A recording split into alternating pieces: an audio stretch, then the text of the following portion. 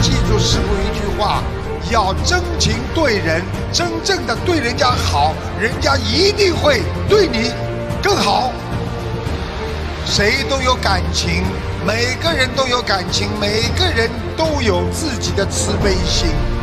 记住了，你种下去的善，一定会得到果报的。所以，只要你去修行，只管耕作，不问收获，你一定会得到多的善因和善果。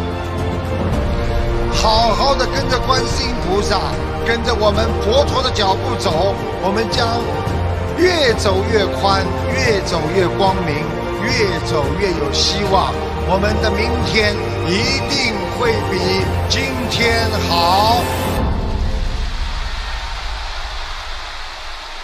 心灵法门，师傅看得到，爱国爱民，遵纪守法。我们的孩子们已经把心灵法门谱写成一曲能够弘扬佛法、弘扬中华文化的一个非常好的法门，它是前途无量。